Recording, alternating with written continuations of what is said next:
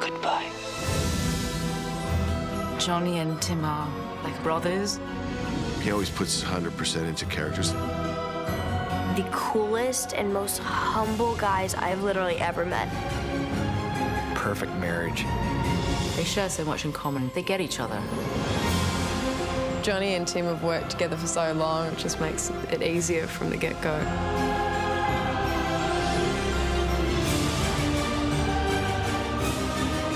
The moral of the story is when Tim Burton asks you to do a film, do it. You're terribly late, you know. Naughty.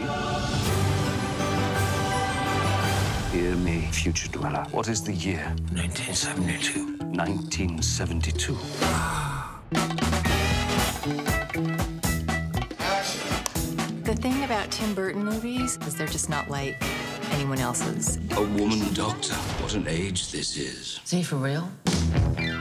This is a case where he kind of came to me. I'm always ecstatic when Tim calls.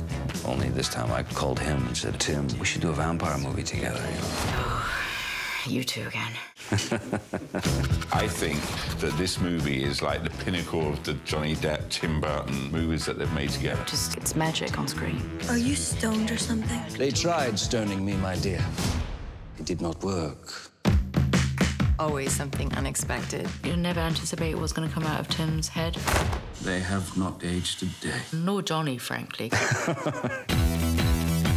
A true artist in every sense of the word. They're very good friends. They're an incredible combination of talent. Uncanny, is it not? Who the hell is this? I'm a vampire, madam. Yeah. Let's just try it. He had great ideas, really fun to work with, and really surprised me every day. I think it's probably the most fun I've seen Tim have on a set, you know. He was great. I guess the only thing missing is Alice Cooper.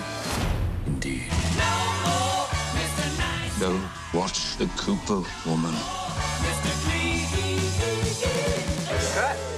Somebody's got to do it, right? Only in cinemas.